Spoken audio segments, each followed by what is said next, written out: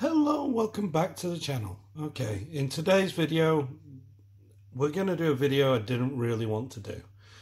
But it's a video nonetheless I have to do. I owe it to you guys to be open, honest, and so on about the products I review. And this is not going to be a fun one for me. Um, in 2019, John Wick 3 was released to the public on the cinema. Approximately a year before then, um, the licenses went out to several airsoft company from Taran Tactical Innovations um, to produce. So two companies did produce the Combat Master from John Wick 3. One was Jag Precision, or Jag Arms now, um, and the other one was EMG International, or EMG, or uh, Evike Manufacturing Group. They obtained the license and went looking for a manufacturer, which they found in Armor Works.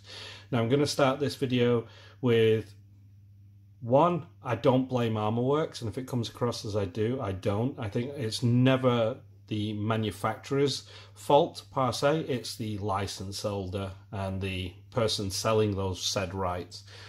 Um, basically, having been in business now for 27 years myself, you know, working in and out, running several successful businesses, I can tell you now, it, licensing is mainly the uh, most expensive part of any, how would you say, product that you purchase. Now, like I say, I started with the Jag um, back in 2019. I remember traveling to my local site um, that I'm a member of, and they have their own shop there. They had like 50 in the back.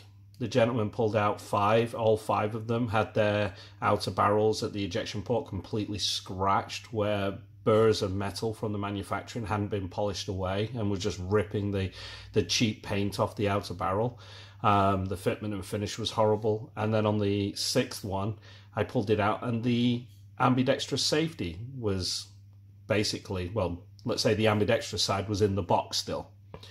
Um, and I sort of like left it, and I thought, well, that's 150 quid uh, at that time, which is like just shy of 200 dollars for a for a pistol that's broken out the box. All looks crap. Certainly not to the the level of manufacturing that you guys out there would expect, and that anyone would. Now, I know, like say, at that point, I was like, no, I'm going to leave it a bit. I then went to sort of like Father's Day came in 2020, and I was gifted from my little daughter the Combat Master from EMG. Um, and all I can say is it gets worse, guys. This gun re- retails for a hundred pounds at the cheapest, more than the Jag Precision, and that Jag, or the Jag Arms, whichever want to call it, version, and yet internally they've basically all feature the same, as reviewed by Airsoft Mike and Red Wolf TV, which is why I decided to go with the EMG because I thought maybe they might have a bit of uh, for the value. I mean, at the time, two hundred over two hundred pounds for a pistol you know, like $300, I think they were retailing it at the start. For a Combat Master, that was bloody high. And you would expect a good sort of like return on that value, at least something that's better. But alas, we didn't. Now I know that Armor Works make good quality guns. This gun here is, like I say, was retailing for around about $300 at launch. At launch, Armor Works, when they partnered up with a fairly decent licensing company, came up with your Canik TP9 Combat Elite, which features better quality parts. You've got dual licenses from Salient Arms on the barrel to the Canik on the slide and all that, and a completely redesigned internal. And yet that, even this at launch was over a hundred pounds cheaper or over a hundred dollars cheaper than the EMG. So very good gun with the Canik that has had over way more than 3,000 rounds through it, has never had a malfunction, never had a problem, cycles through multiple mags of BBs per one fill of gas, etc., etc., and is way cheaper. Yet this gun, you're paying for the license because of the John, John Wick movies, to be honest with you. I think this company here, EMG, avoid like the plague is what I'm going to tell you, but let's get there. So as we open the box, first of all, the box is really rigid and sturdy. It's a lovely quality. You think you're going to get an Apple product or something like that, but no. You get a cheap ass injection or vacuum molded plastic in there, whatever you call it. Right? You will get a certificate. There's mine. Telling you that you have a John Wick 3 STI Combat Master uh, parallel training device. Whatever that means. There's your QR code if you want to have a look at that. Tells you with your registration. You get your STI owner's manual, which is fine. It's adequate. It does the job. To be honest, this this manual and the one that comes with the Jag are identical. And then you get your gun. Now, the keen eye would already notice there's a problem with mine. Let's bring that back. Something to do around this area. Yeah, mine's gold. Because out the box, upon doing what I'm doing now, I took it out of its poly bag, which is just cheap poly. There wasn't even that much oil on the gun. And lo and behold, this is how it came. Now I've installed a muzzle adapter because I run a tracer on mine. Um, that does not come with it. But there you go. First of all, this was the problem. Um, out the box, just under here, there, there was the other half of it hanging in my box. Now this is supposed to be a very, very, how do you say, high-end product, but lo and behold, it's not. So of course, I go on the websites to find out that Marui are not compatible with ArmorWorks or WE for 100%, so better to buy an ArmorWorks ambidextrous safety. So I did. The only ones that you could find at the time was gold. Again, lockdown and all the rest. Now, that was your first problem. So of course I repla replaced that. The second issue was the magazine. Have you noticed um, there's no extended button? Why? Because on the second insert of this magazine, the part here in the middle had cracked because again it was injection molded die cast whatever you want to call it um, I think the uh, in, in the real steel world you call it MIM parts um, just snapped in half so I had to purchase a CNC steel one to replace it these are parts that should be detriment. These are the heart of the gun. The general controls, the internals, they're the things that you should stick the money in, not the externals. But this was all about the externals, and that's EMG's motive, I guess. Now, the stippling felt a little bit more smoother on this than the Jag, I will give them that. But that's not always a good thing, especially when you're dealing with firearms. You want something that can give you a good purchase and grip. Um, this does feel very smooth. Now, of course, another thing with Armor Works and their uh, Hi-Capa parts with this gun for some reason. If I was to just prep the gun on the left side, normal right-handed use, nice, yeah, right? On the left-handers, you can suddenly see you've got this lovely slot. You pull it all the way up about four mil, and then you'll get it. Still works, but sometimes under recoil, it can lift your safety up and put it into a lock state. The other downside, apart from the magwell, which I've already spent, remember this is a, a $300 gun and I've already spent now another, uh, with postage, about $65 on a, you know, ambidextrous safety and a mag release.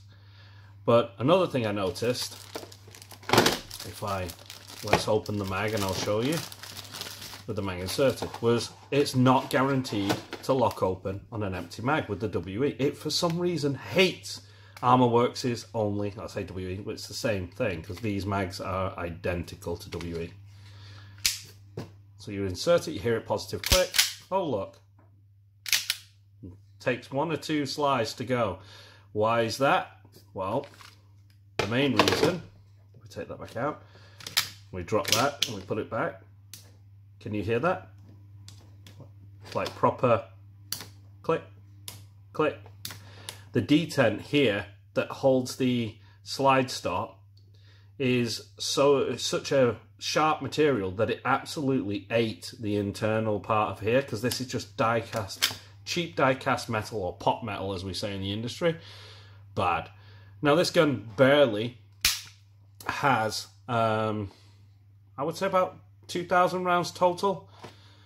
And as you can see already, this is supposed to have been anodized on the barrel. That is not anodized. That is just really poor quality for an outer barrel. Okay, and it's not only there, but it goes round the end. You can see the paint just come off. It is absolutely scored. Now I thought, well, that can't be that bad, can it? It really cannot be that bad. You know? But again, after one magazine through, the rear sight fell off. Apparently, the screw had backed itself out. So I had to thread lock that in place. Now it's solid. But these are works that the user are doing that they shouldn't have to.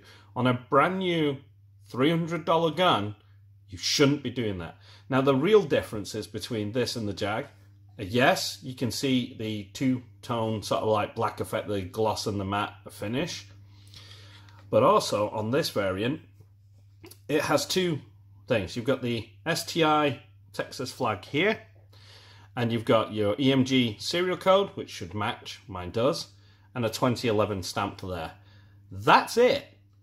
Other than the two-tone effect here, everything else internally is virtually identical and um, you're paying a hundred dollars more, a hundred pounds sterling more to get this version over the um, cheaper Jag version. Now, if you're going to save some some money, I'd get the Jag and just spend the money, the hundred pounds you saved, on actually doing it up to be a good gun. Now, before I take this down, let's let's see what groupings we can get, shall we? Let's actually take it outside give it a couple of shots at a target, get some chronograph results, and let's let's let's sort of like put this thing to bed, shall we? I'm gonna drop the hammer there, and we'll, we'll let's let's get that done. Okay, I'm using green gas and 0.2 gram BBs. Let's put five through. Okay.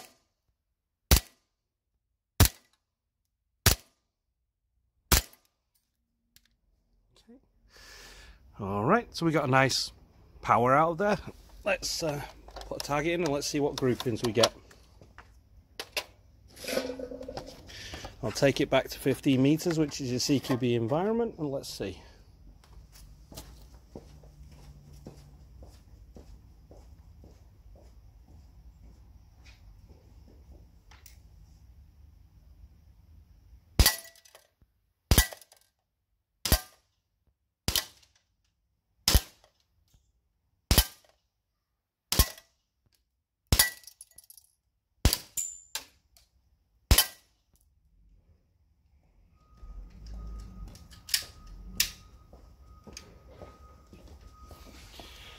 That is pretty terrible. Okay, so now that we've chronoed the gun, let's have a look at what we've got. So we have one, two, three, four, five, six, seven, eight hit the target, and the other two went off somewhere wide. Now I have zeroed it, it's shooting flat, but for some reason the it, it just seems to favour the upper left. Uh, if I take any more of the hop off, it would just drop BBs out. Um, as for uh, FPS, well, let's have a read. So let's get the, the, the lowdown. So we have an average of 343 there, which is not bad on a full mag, but you won't get that after. That's usually like your first 15 shots. After that, it will go down to the mid, I would say, 320s, 330s, thereabouts as an average. Now, one thing's for sure, like I say, when the gun uh, went through, it didn't lock back properly. Um, I had to do it myself and clear the gun. Um, but yeah, I mean, this gun just it, it, exudes like it's beautiful to look at. I mean, we all love the Combat Master and John Wick films, but it just seems just horrible. I mean, let's see if we can strip it down for you. I mean, let's take this crappy when you can see here how much it's eating away at the diecast for that cheap part. You shouldn't have to pay for it, but we did. Obviously, it's just a Hi-Capa. It's a standard Armor Works. I mean, you can see where the mock um, striking pin actually has dinted. That's actual dint. That's not thing. It's a proper dint. And now it's eating away here on the hammer, if you can see that properly. You can see how it's eating away as it hits the back here. There's no buffing to or buffer to it or come like a little bit of a thing. As you can see, you got my, I don't know if we can get that in there, but you got my steel um, mag release in there, which is better. I mean, they did give you a really, how can I say this? Like a really strong striker in there, which is great. I'm not going to you know diss that the frame itself is it, it's like that's the best part of the gun is the frame and the slide itself. As you can see inside I've not bothered even cleaning it in a thousand rounds but hey. Um, you can see you've got your um, Armor Works standard nozzles and so on. And here's where they went a little bit weird. This is supposed to be a steel guide rod right? It's a bit magnetic but tell me, does stainless steel do this? I mean, I live in the UK we're famous uh, from Sheffield. But let's have a look. Oh, look, this is not stainless steel. This is just some magnetic metal that, um, you know, people have sort of like bothered with, if you know what I mean. Like treated with nickel, I think that is, like a plating on it and it is just eating itself off you know?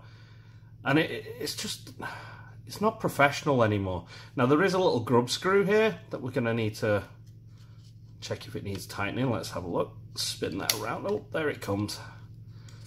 So if we flip that back round come on.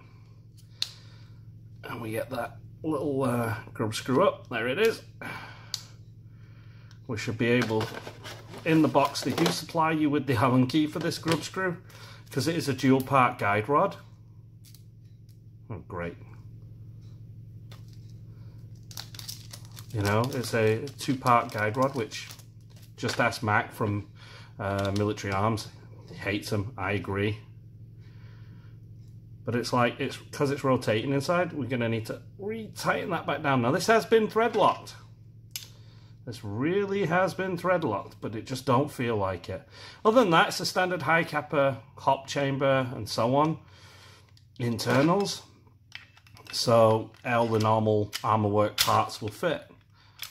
As you can see, just not nice quality. I mean, you look at the DOI, you had a rotating um, roll pin around this that was steel that would give it some rigidity so that the main arm can still be a, of a lower quality, but the wrong word quality, but a lower type of hardness material.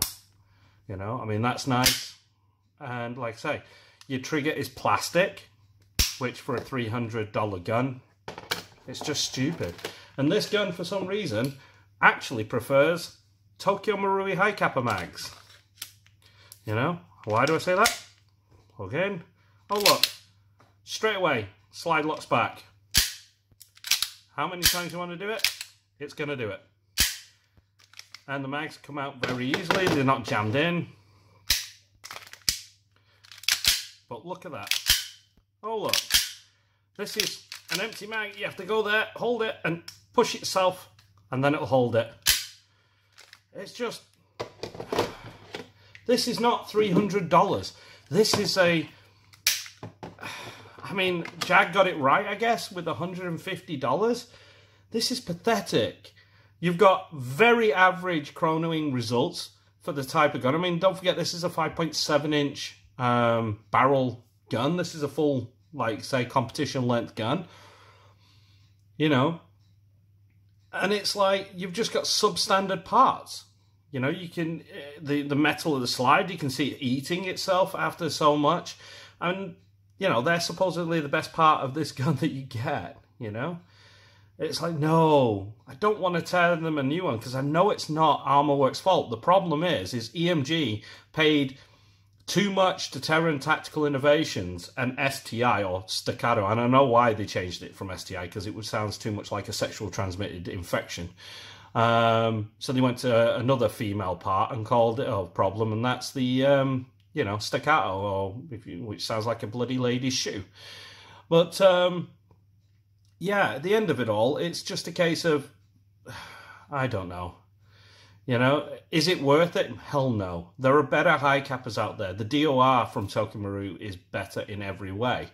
It may be a polymer slide, but there are metal ones out there if you wish. And they, even those are not going to damage or break your gun like this is eating itself. I mean, look at the finish on the screws. You, they look white, but they should be black. But that's just, like I say, holding the gun, you know, and manipulating it with your with your gloves on or with just bare hands for most of it because it's never really other than like say about I think I've used it five games and outside of that it's been plinking in my my garden and that. That's it you know? And this is the start the, the quality it's in. We know what they're capable of. They are cap- you know armor works are capable of producing a really good pistol at a really affordable price.